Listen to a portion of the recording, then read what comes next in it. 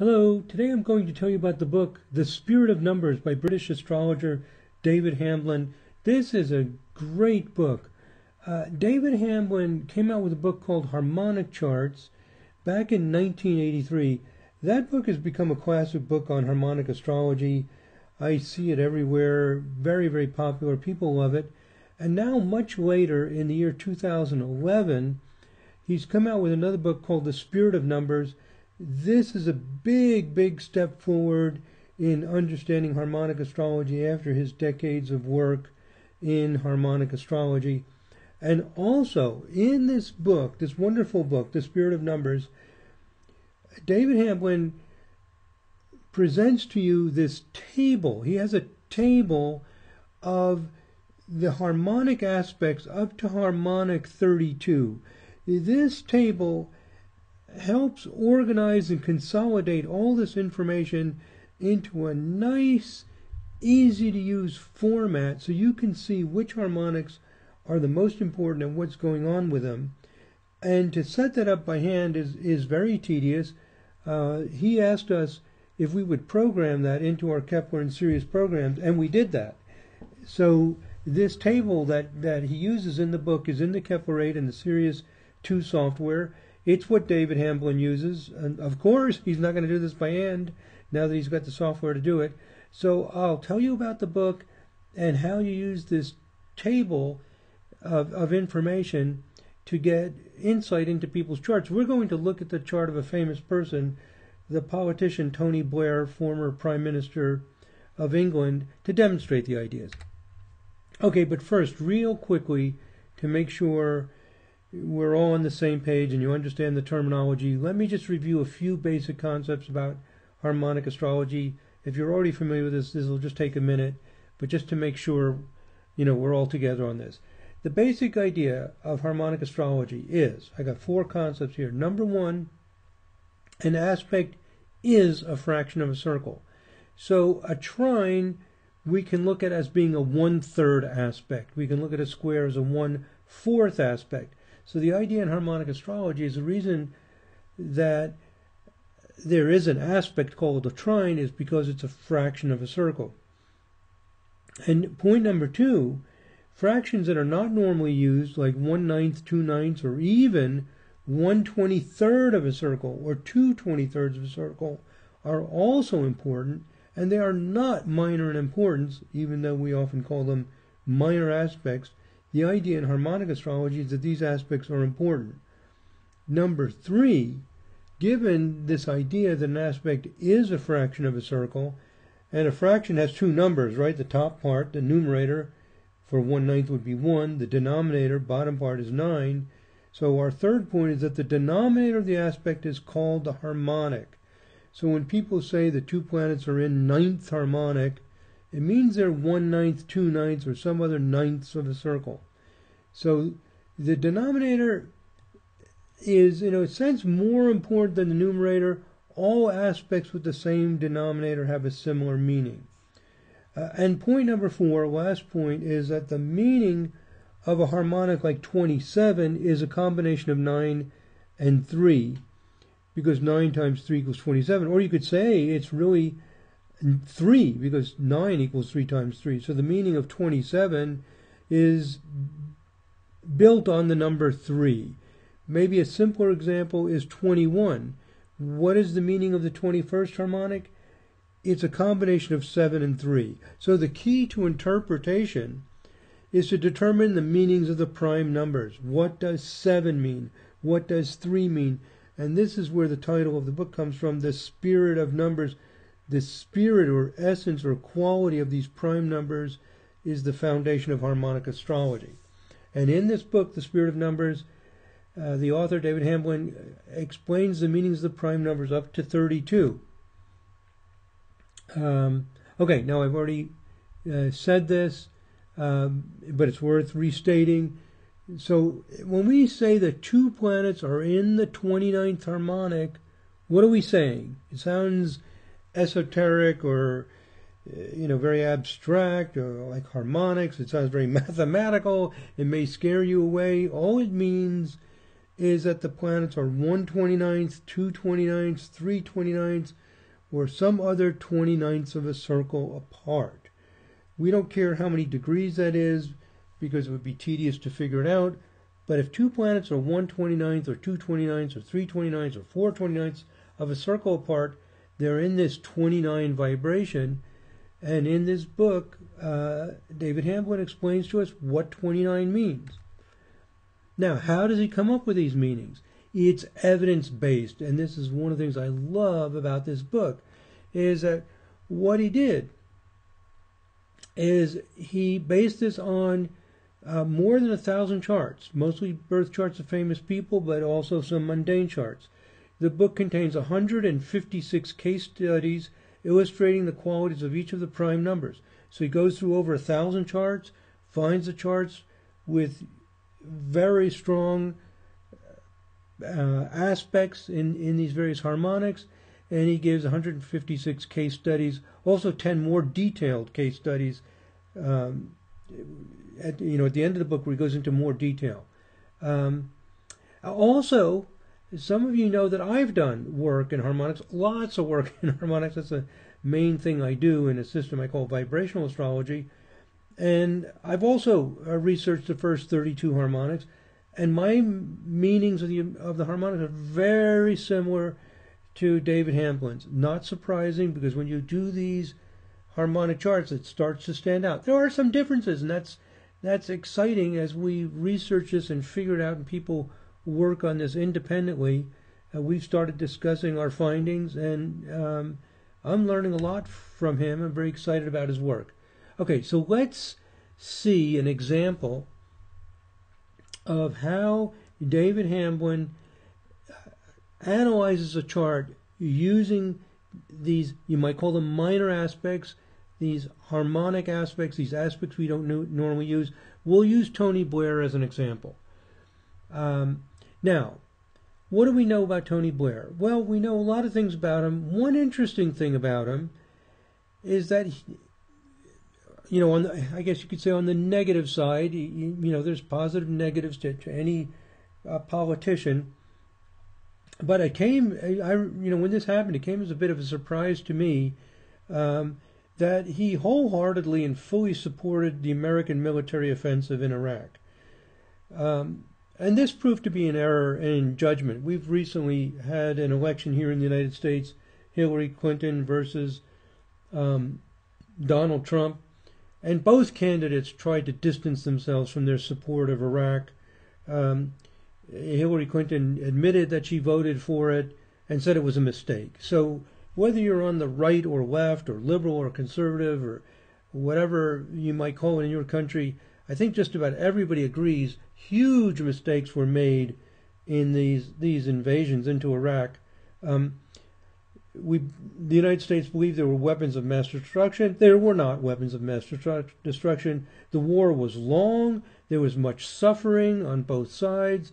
Um, and Iraq, in many ways, is worse off after the war than it was before the war.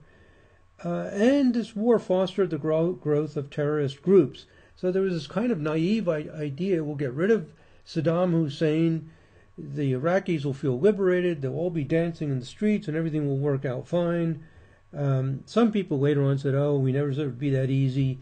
Uh, well, anyway, they didn't think it was going to be this difficult and have this much pain and agony uh, and negative results. So it ended up being, uh, for the most part, a big mistake. Maybe it could have done been, been done properly and in a correct way. People will debate these things forever, but I think everybody agrees huge mistakes were made that were very costly in terms of human suffering, uh, cost, financial burdens, etc. Okay, so let's look at these uh, harmonic aspects in the way that David Hamblin does it and see if it sheds some light on Tony Blair, and we will see that it does. So here's what we do. We go into the Kepler or Sirius program. I happen to be in the Sirius 2 program, but in Kepler 8, it will work exactly the same way. I have Tony Blair's chart up here. So here's Tony Blair. I went into the data entry screen and read it in. And then I go to listings and then harmonic patterns listings, this uh, menu item right here, and then I select number 7. This is it. Table of harmonics 1 to 32. Maybe I'll rename this to David Hamblin's Table of Harmonics 1 to 32. Might make it clearer that this is the one you want to, to, to analyze um, the chart and the way that he does. So we click OK, and it takes a second or two to calculate, and there it is. And what this is going to show us, got the birth information at the top, planet positions, and then it's it has these columns 1, 2, 3, 5, 7, 11, 13, 17, 19, 23, 29, 31.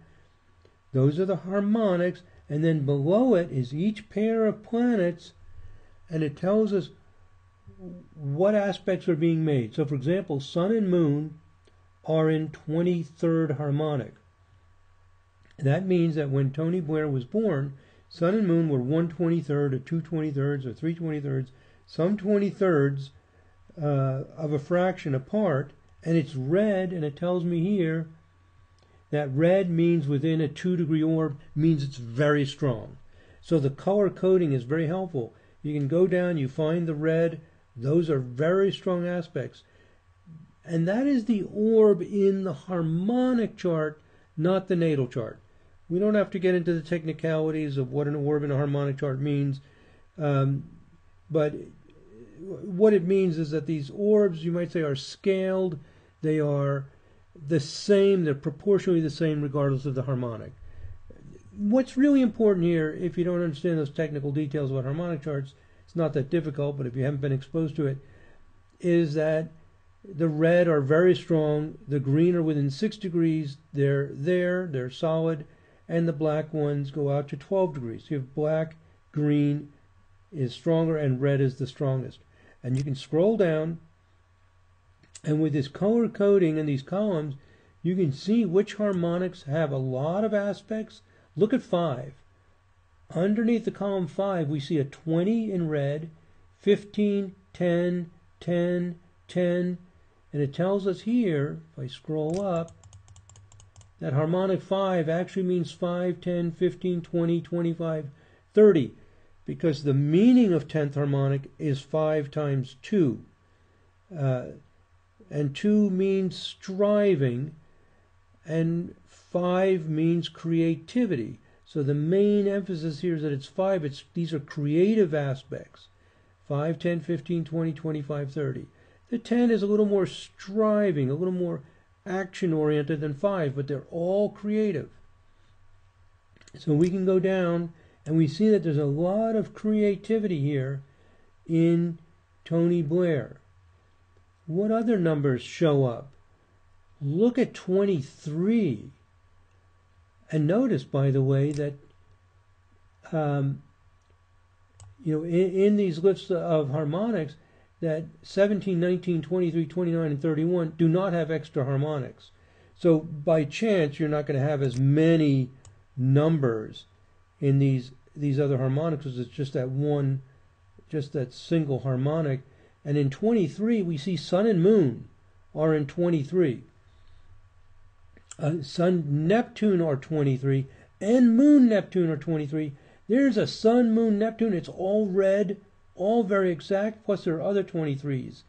So a lot of 23 and a lot of 5. Those are two harmonics that will be important, especially important for uh, Tony Blair, the Sun Mars 20th harmonic. So let's talk about what that means, and let's talk about what the Sun Moon Neptune means in 23rd harmonic. So the, the point is that this table allows you to see which aspects really stand out. You can see the red, and there are only a handful of them. These are the really strong aspects. Um, and then also the green are important. And then if you see a lot of aspects, that means that that that basic vibration is strong. His five vibration is strong. Seven, not as many. Eleven, not as many. So it's interesting. Um, okay, let's go back to our PowerPoint. And let's see what this means. So we see many aspects in the five column, and we saw the sun, Mars, and red. What does it mean? This is a quote from my correspondence with David. We corresponded um, by email uh, about making this video and what we would present in it. And here's what he emailed me. He said 20 is 5 times 2 times 2. So this aspect is a combination of two-ness and five-ness, right? And just as we discussed. Two-ness is about striving, and five-ness is about creativity, creating order out of chaos. So this aspect shows that Blair is striving to find creative ways of expressing himself, Sun, through decisive action, Mars. Um, now, let me add my own observation to this. I agree. Sun Mars people are active in creative pursuits. Uh, and, and I also find that Mars in these fifth harmonic aspects often inclines to enjoying dynamic or even aggressive sports. Uh, and one of the problems that happens with Tony Blair with his invasion into Iraq is I think with the Sun Mars in 20th harmonic, any five based harmonic, there's a tendency to overlook the horrors of war. People with these aspects enjoy competitive sports. They enjoy dynamic sports. They're so much fun that sometimes they can overlook the horror or pain that can be involved in these sports. Um, here's an interesting thing Uranus and Pluto, a slight aside here, but to emphasize this fifth harmonic and what happens with explosive combinations in fifth harmonic, here's something a lot of people don't know is that Uranus and Pluto formed fifth harmonic aspects, this means quintile or biquintile, twice in the 20th century, right at the time of the wars, World War I and World War II. And there, consequently, when Uranus and Pluto, these disruptive planets are fifth harmonic, you get into what you might call war games. And I think in World War II, people were aware of the horrors of war. You get songs like The White Cliffs of Dover that show that people did not delight in war, but unfortunately, a culture of enjoying war games developed from World War II.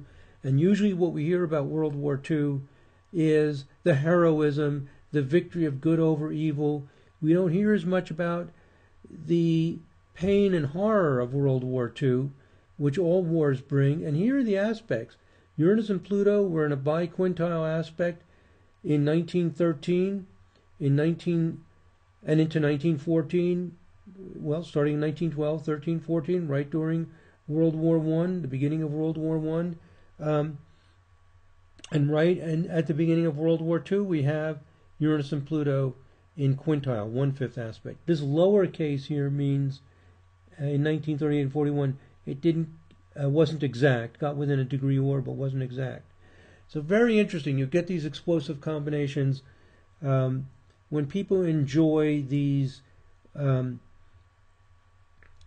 aggressive activities and overlook the misery that they can cause. And I think that this is getting back to Tony Blair, the Sun Mars 20th harmonic exactly what David Hamblin said creative solutions, creative um, activity. Um, and I just want to add that note. I think they can overlook the damage being done. It draws them into war more easily. Now let's look at his 23rd harmonic. How is it that Tony Blair, very smart fellow, very good politician, gets so enthusiastic about a horrific war that ends up being disastrous. How did he make this blunder? Well, the Sun, Mars, and 20th harmonic is one reason, and another reason is this huge 23rd harmonic pattern. It, it stands out. In some ways, it's the most conspicuous harmonic for him with Sun and Moon. Whenever you get Sun and Moon, the two lights, as we call them in astrology, uh, whatever they do is extremely important, and it's red within a two degree orb in the harmonic chart, extremely strong sun moon with Neptune. So, in what way is Tony Blair Neptunian? This is saying that in some way he's very Neptunian. He's a dreamer. Um, what what's going on? And his enthusiastic and unswerving support for the Iraq invasion, in retrospect, now seems to be very naive and foolishly idealistic. if we had looked at his chart ahead of time and we knew about these harmonic patterns, we would have had some concern that Tony Blair, no matter how intelligent and grounded and smart and experienced he seemed as a politician, there's a bit of a dreamer in him. And this, you know, this ease with which he could become naive. Now, here is what David Hamblin sent me in the email, and this is discussed exactly this way in his book. If you get his book, you can learn all about this. Um, people with very strong 23ness aspects tend to be dreamers and fantasists. They have a vision of how they would like the world to be, and they often see the world in terms of sharp contrasts between white and black, right and wrong, good and evil. We can see how these aspects will have helped Blair to believe that Saddam Hussein was the embodiment of evil and that all problems would be solved by his removal. So, this simple visionary idea, idealistic idea that there's the bad guy, we'll get rid of him, and everything will work out right. Sun, Moon, and Neptune in 23rd harmonic. Very strong inclination to this, and that's what happened. Um, now, uh, Hamblin's insight into the 23rd harmonic really makes sense to me. In my own work, I've emphasized that the 23rd harmonic takes risks. But I've noticed when they're taking these risks, what's happening when people take these risks? They have this faith in their dream, their vision, and they're not looking at the data. They're not looking at the, the hard facts, you might say the statistics. So the heart of this risk taking is often that we trust our instincts, and even more than our instincts, it's this hope, this fantasy. You know, it's why we play the lottery. We we have this dream that that you know somewhere over the rainbow is going to happen for me. That feeling is very much 23rd harmonic, and I, I'm learning a lot by studying Hamblin's work because it's he's bringing out some things that I've sensed about the harmonics, but I hadn't completely articulated. Yeah, there is this kind of dreamy, far off feeling about the 23rd harmonic. Uh, and I would add it leads to this risk taking. It's exactly what he did in the Iraq War. Oh, by the way, um, George W. Bush, who was leading the charge into Iraq, has Sun square Neptune in the 23rd harmonic. Um, so if you know about harmonic charts, you, you know that uh, conjunctions, oppositions, and squares in the harmonic chart give that tone. And Tony Blair has Sun, Moon, Neptune in the 23rd harmonic, and um, George W. Bush has them squared in the 23rd harmonic. So you can also look at the harmonic charts for more information. But the bottom line is, getting back to Tony Blair, he has the Sun, Moon, Neptune in 23rd harmonic, and this is a force, an astrological motivation in his life that led him into this huge mistake. Um, so, concluding comments. Hamblin's book, The Spirit of Numbers, it's it's a great book. Important contribution to, to uh, astrology, his decades of work in harmonic astrology, his strong evidence-based approach, not just oh you know groovy. We have these numbers and all this numerology. He actually researches this, spends huge amounts of time sorting through this, and comes up with some great insights. And by him requesting that we add this table to Kepler and Sirius, and, and, and we did that, we're now all able to, to have this information at our fingertips. So, you know, working together with the software and the creative thinkers and, and authors of books, we're able to put all this together and, and make this available to you. Okay, my friends, I hope you find that interesting. Let me just finish here with two things let me um, show you the. If you go to Amazon.com, I search for David Hamblin, The Spirit of Numbers. You'll see the book. Amazon's always a handy place to to order the book, uh, and it tells you about it here. And lastly, let me go back to my PowerPoint. Just my concluding uh, page here on our additional resources.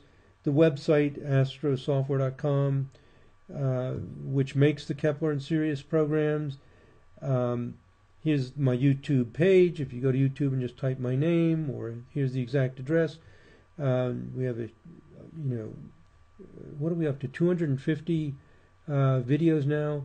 Um, here's our school. Avalon School of Astrology. We have online classes, online reports, star guidance. Our other software company, Matrix Software at astrologysoftware.com, and also some other free services at astrologyland.com. Thank you very much for listening, my friends. God bless. Namaste.